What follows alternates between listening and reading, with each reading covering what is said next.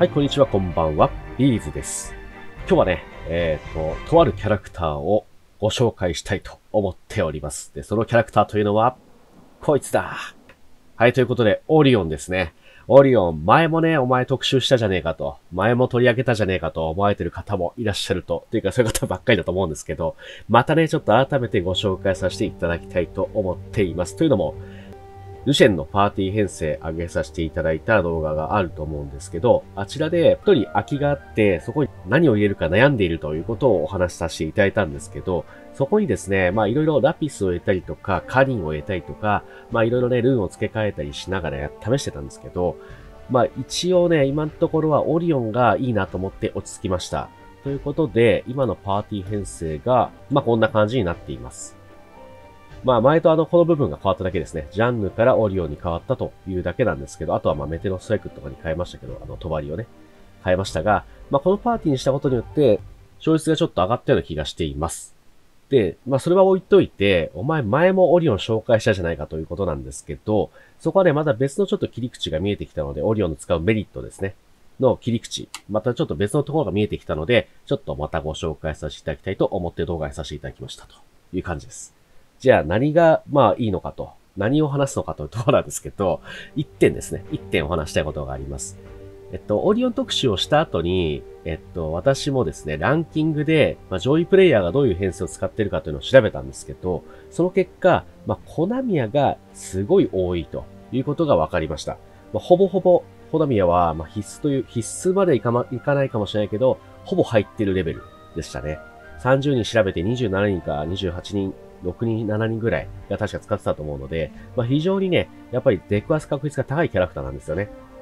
で、このコナミヤの役割って、やっぱ同じカードをもう一回分回すっていう効果が非常に強いということじゃないですか。まあもちろんね、1コストで使えるので、えっと、とりあえずこのデッキを回すって意味で使う人もいるかもしれませんが、基本的には同じカードを分回したいと。例えばルシェンだったりとか、えっと、バレッタだったりとか、まあいろいろあると思うんですけど、分回したいということに使うと思うんですけど、例えば相手がルシェンパーティーだなと思ったとします。分かったとします。未成年の段階でね。そしたら、ルシェンとコナミヤが、まあ、あとバフ、バッファーも、バッファーまあ、バフかけるやつもそうだと思うんですけど、バフをかけて、ルシェン使って、コナミヤ使うという流れが、まあ、綺麗な、えーベストムーブになると思うんですけど、相手がルシェンを使ってきた段階で、相手の手札に、えっと、コナミヤもね、セットで入っている可能性が非常に高いと思うんですよね。うん。なので、えっと、オリオンの役割としては、え相手がルシェン打ってきました。コナミヤがおそらく相手の手札にあると仮定します。で、そこの段階で、ルシェン打ってきて、コナミヤ打つまでの間のところで、割り込んで、割り込んでというか、こっちが先発で、えーっと、スキルを打って、オリオンのスキルを打って、相手のそのコナミヤからの、えーっと、ルシェンもう一回っていうおかわりっていう流れを止めることができるわけですね。まあ、止めることできるっていうのは、まあ、ちょっと語弊があるんですよね。あの、運なんで結局。まあ、ワンチャン相手の手札にまたルーシェン・コナミヤが回ってきてしまう可能性もワンチャンあるんですけど、まあそういったところのムーブができるっていう可能性があるっていうことで、相手のコンボ潰しですね。コンボ潰しができるっていうのところの側面で、非常にオリオンは優秀だと思っていて、なのでそこのご紹介をさせていただきたいと思っていたのが1点。そして、オリオンの実は弱点というか、弱点というかね、割り込めないというふうに思っていたんですけど、割り込めるんですよね、実はこれね。うん、実は割り込めるんですよね。ちょっと、後でまた動画展開するんですけど、その中の動画には入ってないんですけど、あの、オリオンでスキル使ってきました。相手が先発でスキル使ってきました。で、シャカシャカシャカンってなりますよね。シャカシャカシャカンってなって、えっと、右下のところにカードが補充されるわけですね。4枚かな ?4 枚補充されるんですけど、その補充されて、えっと、そのスキルの演出が終わるまでの間だったら割り込めるんですよ。だから、後半とかね、前半はちょっとやりづらいと思うんですけど、後半で、例えばこっちがもうキャラ少ないよってなった時に、えっと、そのシャカシャカシャカってなって、パンパンパンパンってなんか3発ぐらい多分殴られた後ぐらいのタイミングで割り込めるんですよ。だから、変な話、その右下とかを連打してれば、あの、もうこっちは残り2匹とかだったらね、その2匹の人どっちかのスキルが発動するんですよ。マナコストさえ溜まってれば撃てるんで、まあそういった対策方法も実はあるということが分かりました。っていうところの共有でした。はい。で、一応、その、最初の前者の方の話とかは、ちょっとこの後動画を流すので、まあ、そこでちょっと解説をさせていただきながらですね、えーぜひ見ていただければなと思います。では、見ていきましょう。はい、3本ぐらいですね、動画を用意しました。オリオンの魅力を語るに値する動画を用意したんで、ちょっと見ていければと思います。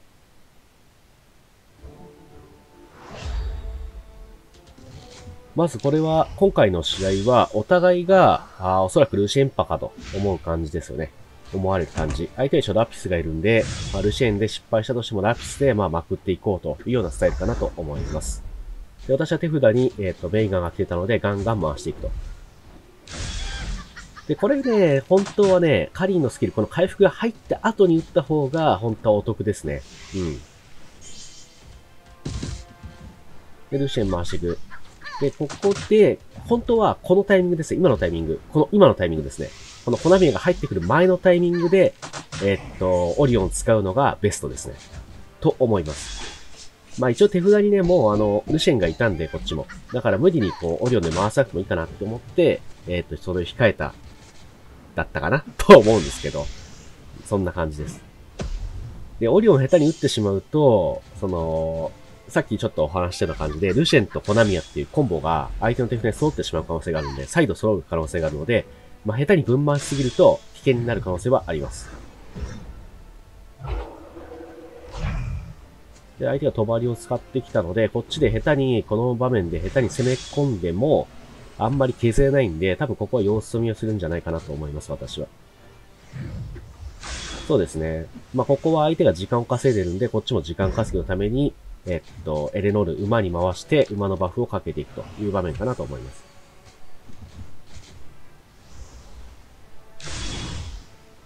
多分これ死ぬかな。バナード死ぬけど、移りますが、まあ、十分働いたかなというところかなと思います。で、ルシエン来ます。こっちもルシエン、相手の、えっ、と、シールドを剥がれた、トバリのシールドを剥がれたので、こっちもルシエンで返していくという場面かな。で、ここ割り込んで、クムヌでしっかりと回復阻害を入れつつ、回復をしていくという感じですね。で、馬がそろそろ落ちるでしょうという感じ。そうですね。馬が落ちたタイミング。まあ別にここで、オリオン無理やり打たなくてもいいんですけど、なんとなく打ちましたね。なんとなく打った。さあ、ここは、このちょっと甘えたメイガン、ちょっとラグりましたね。すいません、ラグりました。甘えたメイガンを潰していくと。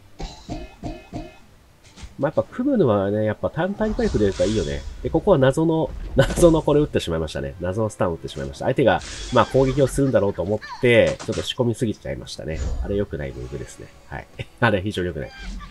で、これ多分落ちるけど、さあ、こっからですね、こっからオリオンクムヌという、まあ割と自分のパーティーだと、こういう残しになることはよくあるんですけど、で、ここでオリオンでこれすることによって相手は、やべえ、スキル打たなきゃっていう脅迫概念にからえるんですよ。あの場面だと、普通にあいお相手さんは何もしなければ、多分こっちの負けになっちゃうんですけど、ただ、相手、じゃあこっちから先発でこうオリオン仕掛けることによって、やべ、オリオンまた飛んでくるぞっていう感じになって、相手がスキルを打ってくれるようになると いう感じの効果もあります。はい。そういったね、オリオンの魅力もありますね。やっぱ振りが早いっていうのはやっぱ強いですね。振りが早いから、本当に。で、ここでスタンループに入って、もう基本的にこれ抜けらんないんで、タンがあの、二つ終わんなければ抜けらんないんで、まあ、ジャンヌとかと同じ現象になりますね。さあ、もう一戦見ていきましょう。もう一戦で二戦目かな見ていきましょう。二戦目、お相手さんにもオリオンがいるという状況ですね。さあ、どうなっていくか。私もね、結構試合内容は覚えてません。結構覚えてませんよ。さあ、ここはこちらとしてはメイガンを手札に回していきたいんで、そうですね。オリオンとか、まあ、軽いコストのやつを分回していく。そう。オリオンのいいところの一つ、前もちょっとお話したんですけど、多分。まあ、オリオンのやっぱね、コストが軽いっていう、2コストっていうのは非常にいいですね。非常に使い勝手がいいです。そして、ただ相手のオリオンによって、こちらの、えっと、ルシエンがどっかに隠れてしまったので、まあ、ルシエンをサーチしていくと。で、ここは甘えたラモホスをしっかり潰していくという感じですね。で、ここ、もう一回、ルシエンを回していく。ただ、相手もオリオン、そうですね。あ、そうそう。ここでオリオン相手使ってきましたね。これ、うまいと思います。あ、あいつはうまいと思います。あれ、これ。あれ、これってなんだ。あれ、今のタイミングでオリオンで、えっと、こっちのルシエンを潰そうとしてきたのはすごいうまいと思います。ただ、運悪くこっちもルシエンを、あの、打ってたんで、カウンターになったっていう感じです。ほんとこれは運が良かっただけですね。お会いさんの読みは非常に正しいと思います。で、回復阻害を入れて、まあ、こうなってくればほぼ勝ちかなという感じですかね。帳が入っていく。帳に関しては、こっちは剥がしが、まあ、オリオンしかいないので、まあ、無理に攻め立てまくるよりもバフかけるとか、そうですね、時間を稼ぐ。諦めていったと感じですかね。時間を稼ぐっていうことで対処しています。本当はソファーとかいるといいんだけどね。さあ、3戦目ですかね。見ていこうと思います。私もね、試合の内容に関してはね、あんま覚えてないです。はい。もうあんま覚えてない、これは。しかもチャンピオンラックのやつなんで、結構、1個前のシーズンのやつなんで、ちょっと覚えてないですけど、確かいい試合だったはず。いい試合じゃなかったら、あの、編集して外しておきます。なんで、これが流した場合は、まあ結構見どころ、見どころのある試合と私が判断したと思っていただいていいかなと思います。あ、ここ組むの当てたいかなというところかな。そうですね、組むのをしっかり当てていく。うん。回復阻害、はい、どっちだって今、回復阻害、入る前に回復されたかな？よくわからなかったな。ここはまあいいでしょうという感じか。で、私としてはやはりね、そう、今来たメイガンを使っ、しっかり使ってから、しっかりとルシェンを使っていきたいと。最大火力で、最大火力ではないのか。まあ、剣バフこれ2なんで、剣幕3にしないと、まあ最大火力にならない、ならないんですけど、まあさらに言うと、バーサーカーとかかけないと、まあそうはならないんですけど、私の今のパーティーだと、そうですね。最大火力が、バフ2の状態、剣バフ2の状態ですね。まあ一応これで、トナミヤで3にできますけどね。うん。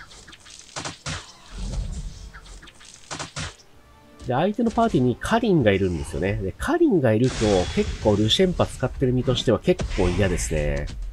カリン自体がまず切断でなかなか倒せなくて、かつ、やっぱカリンのあの、攻撃バフプラス、やっぱ回復っていうところで、回復はね、何気に厄介な回復量。まあ、回復量自体は大したことないんだけど、やっぱ3コストで回せるっていうのがカリンのいいとこかなと思います。さあ、この状況はちょっと不利かなというところ。これ、負けたんだったかな？覚えてないですね、マジで。で、OK。で、ここで無敵でしっかり。この帳をまだ使ってる時代でしたね。はい。私がまだ帳を使ってる時代。まあ、帳自体も別に悪くないんですよね。今、ファイアボールに変えましたけど。相手も帳で合わせてくるという感じですね。これはまあ剥がれませんでした。ここは無理にルシエンを打つよりも、ルシエン落ちてもらっててからって感じかな。